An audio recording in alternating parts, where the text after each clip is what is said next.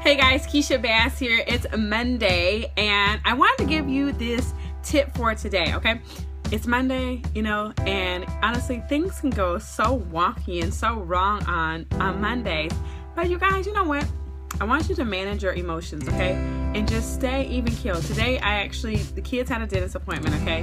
And after the dentist appointment, um, they give them something that I don't know. I think it's the stuff they put on the ceiling or something. Well, sometimes it makes my kids sick, and so Leonard, of course, today it made him sick. So I'm taking him back to school, and he starts upchucking his lunch in my truck.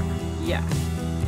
I could have gotten, you know, oh, did I show you? Oh my God, oh, you know, stuff because I got to bring him home. He's threw up all over his shoes, ev- throw up is everywhere, guys. But you know what? I just say, you know what? This is just part of life, right? So I just have to move whatever appointments I had. You know, I can't make the appointments. Um, things will just have to move, right? Because right now I have a situation that I have to deal with. I can't outsource the situation. You know, I have to deal with it, right?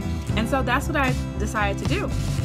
So for you, I want you to do the same, right? So when things happen in your life, take a deep breath and just say, you know what? This is part of life, okay? I'm not going, my day is not, you know, ruined, right? So I didn't start to say, oh my God, my day is because I got a child throwing up and blah, blah.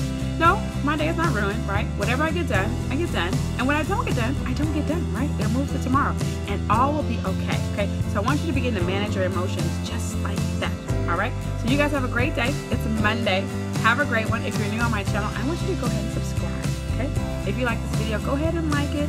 And if you love it, I want you to do me a favor and I want you to share it because I know there's a lot of people in the world that today they're having the worst day of their life because they decided to, guys. That's the key, right? It's all about you making a decision. So decide that today is going to be a good day and today will be a good day.